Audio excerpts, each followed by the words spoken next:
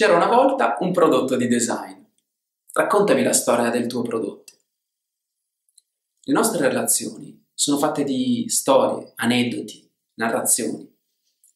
Se ci pensi, il passaparola altro non è che una storia. Incontriamo un amico che ci racconta di aver cenato in un buon ristorante o di aver acquistato un nuovo prodotto. Tutti noi siamo molto più narratori di quanto pensiamo. Tieni presente che le storie hanno il potere di farsi ricordare e poi di lasciarsi tramandare.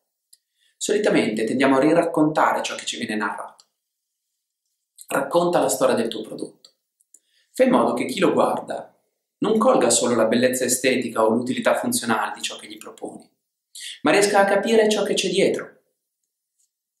La magia di un'intuizione, la passione di un progetto, la casualità di un'idea. Che cosa ti ha spinto a realizzare il prodotto così? Che cosa ti ha aiutato a renderlo innovativo o bello a vedersi? Racconta la storia del tuo prodotto.